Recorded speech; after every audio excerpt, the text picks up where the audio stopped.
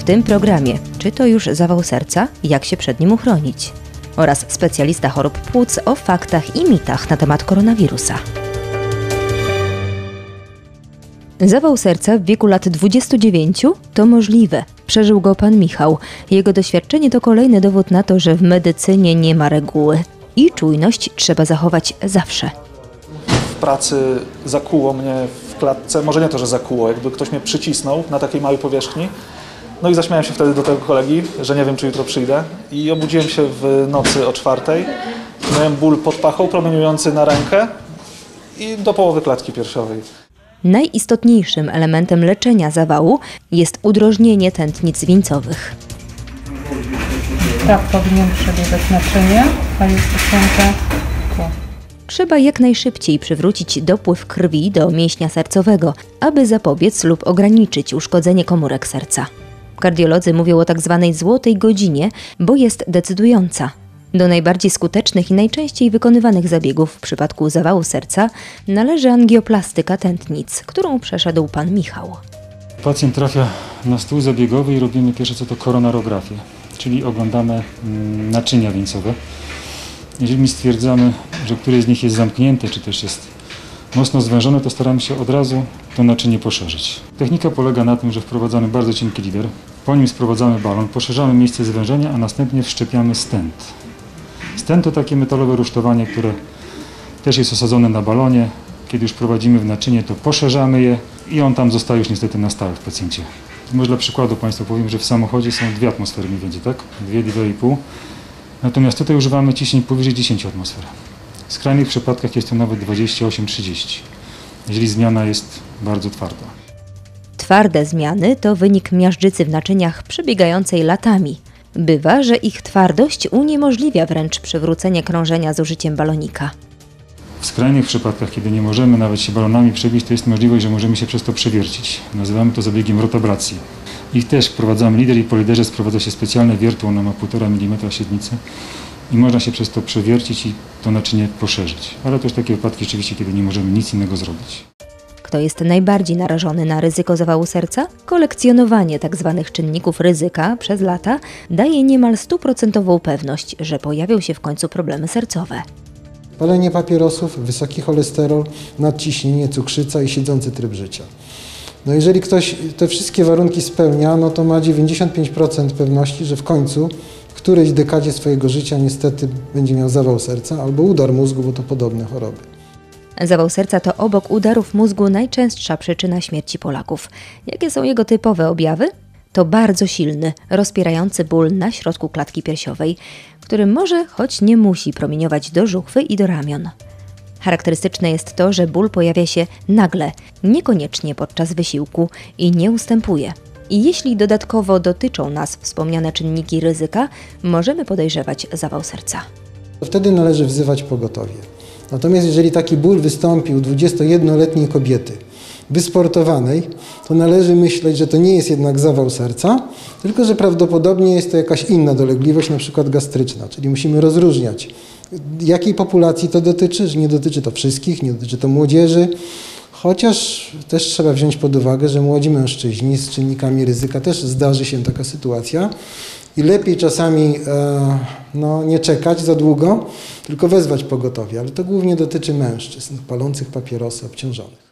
Zawał serca u pana Michała najpewniej wiąże się z genami, które odziedziczył, bo w tak młodym wieku atak zdarza się rzadko. Hipercholesterolemia rodzinna wiąże się z podwyższonym poziomem cholesterolu we krwi już za młodu. Dlatego pacjent będzie musiał co jakiś czas wykonywać badania kontrolne. A w trakcie takich badań jest pan Adam, który również skarży się na ból w klatce piersiowej. Bo dziś miała mieć koronografię robioną, ale przez tego covid to ciągle jest przekładane, a stan zdrowia niestety nie poprawia się. Sytuacja wygląda nieco inaczej, bo akurat COVID nie ma tu nic wspólnego z odwleczeniem badania. Okazuje się, że koronarografia nie jest obojętna dla zdrowia pana Adama i nie powinna być wykonywana pochopnie. Dlatego wcześniej warto zrobić inne badania, które mogą zawał wykluczyć. Sama koronarografia jako badanie diagnostyczne jest obciążone ryzykiem, nawet ryzykiem zgonu. Zdarza się to bardzo, bardzo rzadko, to są promile, ale się zdarza. W związku z czym nasza odpowiedzialność jest taka, żeby zakwalifikować pacjenta właściwie i nie daj Boże nie chorego pacjenta nie zabić na stole. No więc tu jest y, nasze doświadczenie, tutaj decyduje, jak również mamy szereg innych metod diagnostycznych, które potrafią wykluczyć chorobę wieńcową w sposób bezpieczny. Do nich zalicza się tomografia komputerowa naczyń wieńcowych, do nich też zaliczają się badania diagnostyczne, takie jak test dobutaminowy echokardiograficzny, czy nawet prosta próba wysiłkowa EKG, no, która jest raczej przesiewem. Także jest jeszcze scyntygrafia serca wysiłkowa czy polekowa, także dużo mamy innych metod, nie od razu koronarografii. Kiedyś, nie to nie był profesor Religa, powiedział, że przed zawałem to trzeba uciekać na własnych nogach. Mówiąc krótko, trzeba od siebie dbać. Trzeba uważać, co się je i regularny wysiłek fizyczny.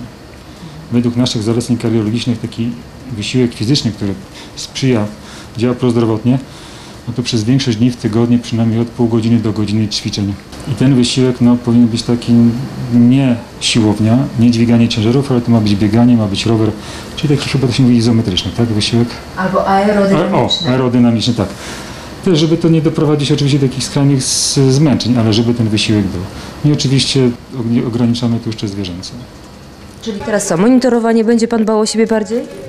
No chyba tak, już nie palę. Od dwóch dni myślę, że już nie będę palić.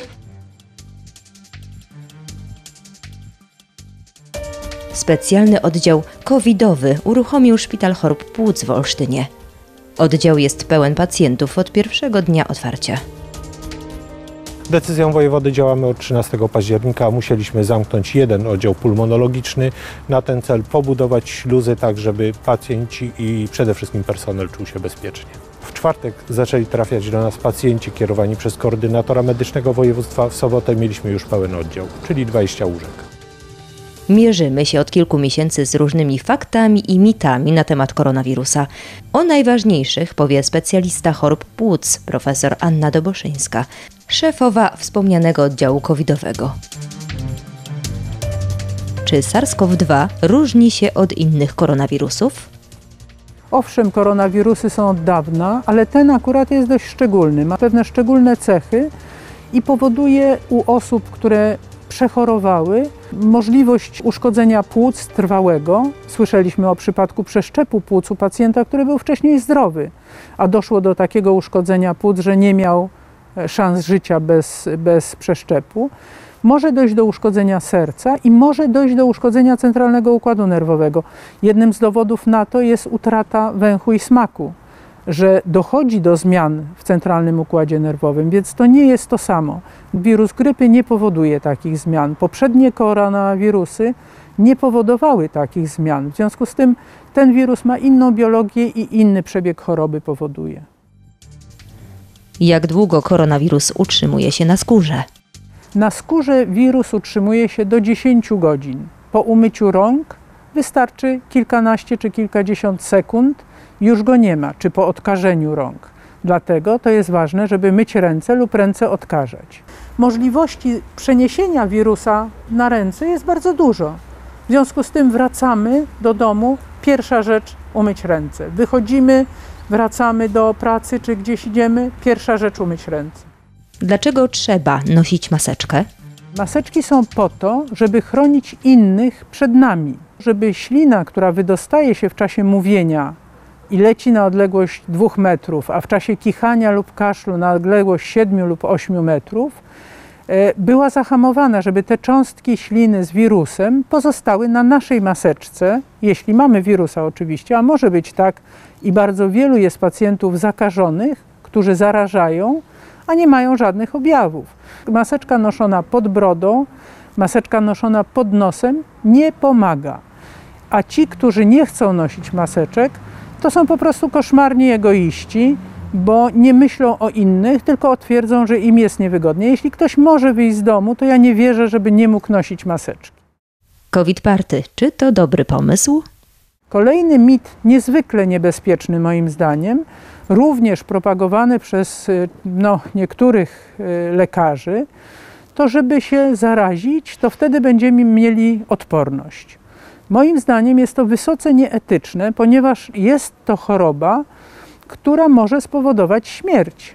I to nie musi być śmierć osoby z chorobami współistniejącymi, może to być śmierć osoby młodej, wysportowanej, wcześniej nie chorującej na żadne choroby. namawianie kogokolwiek do takiego postępowania jest nieetyczne, tym bardziej, że przechorowanie COVID-19 nie zapewnia stuprocentowej odporności na przyszłość. Okazuje się, że są osoby, które zachorowały ponownie. W związku z tym i ta choroba za drugim razem jest zdecydowanie bardziej agresywna i ma znacznie cięższy przebieg. Dlaczego niektórzy negują istnienie SARS-CoV-2? To są osoby podatne na różne krążące w internecie informacje nieprawdziwe.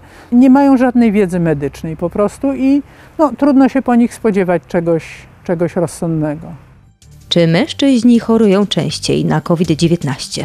Chorują równo i kobiety, i mężczyźni. U nas leży chyba mniej więcej tak samo. Mamy oddział czynny od kilku dni i już jest pełny, i już dwie osoby zmarły z chorobami współistniejącymi i ciężko chore, także e, chyba, chyba nie ma tu specjalnych różnic. Osoby starsze i przewlekle chore powinny uważać szczególnie. Ja często piszę maile czy SMS-y do moich pacjentów, z którymi mam kontakt, żeby właśnie się pilnowali, żeby uważali.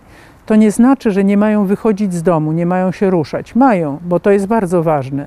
Natomiast nie mają chodzić tam, gdzie nie muszą. Jeśli muszą iść do sklepu, to niech idą raz na tydzień, niech zrobią duże zakupy i y, chodzą na spacer do parku, tam gdzie nie ma kontaktów z innymi, którzy mogą być dla nich groźni. Y, chorzy przewlekle na astmę czy POHP nie mają e, większej skłonności do zarażenia. Nie są bardziej narażeni na zarażenie, natomiast przebieg choroby może być znacznie poważniejszy.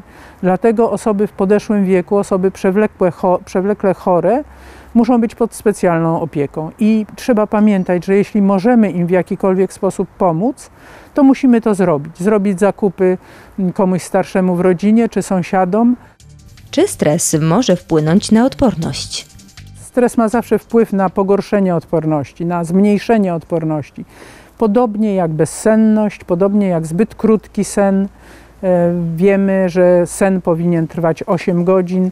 Jeśli ktoś sypia mniej albo ma bezsenność, powinien się z tego powodu również na, na, to leczyć. Niekoniecznie tabletkami nasennymi są inne metody. Odporność człowieka jest niezwykle złożoną e, sprawą, ale z całą pewnością nerwy, tak zwane, i niepokój, nie ma się co niepokoić. Trzeba zachowywać standardy, trzeba zachowywać zdrowe warunki życia, zdrowy tryb życia. Trzeba mm, myć ręce, nosić maseczkę i zachowywać odległość. Przy spełnianiu, spełnianiu tych warunków sanitarnych szanse czy prawdopodobieństwo zachorowania jest zdecydowanie mniejsze. Co robić, gdy podejrzewamy, że jesteśmy chorzy na COVID-19? Jeśli podejrzewamy, że jesteśmy chorzy, mamy gorączkę, bolą nas kości, mięśnie, nie musi to być oczywiście koronawirus, ale w tej sytuacji bezpieczniej będzie, żebyśmy nie szli do pracy, nie szli do szkoły, zadzwonili do lekarza rodzinnego, uzyskali tą drogą pomoc, bo być może lekarz rodzinny zleci jednak wykonanie wymazu z gardła w kierunku y, koronawirusa, a my w, y, już możemy być, jeśli mamy tego koronawirusa, to być może w tym okresie już zakażamy. W związku z tym bezpieczniej będzie pozostać w domu wziąć leki przeciwgorączkowe, e, takie najprostsze bez recepty, które można dostać i e, poczekać, co się będzie działo dalej. Jeśli będzie większa gorączka, będzie się utrzymywała przez 2-3 dni, to wtedy konieczne być może będzie e, hospitalizacja i wykonanie dalszych badań. Ale nie wszyscy chorujący na COVID-19 muszą być hospitalizowani. Nie wszyscy, którzy mają objawy, muszą trafić do szpitala, bo czasami te objawy są całkiem łagodne.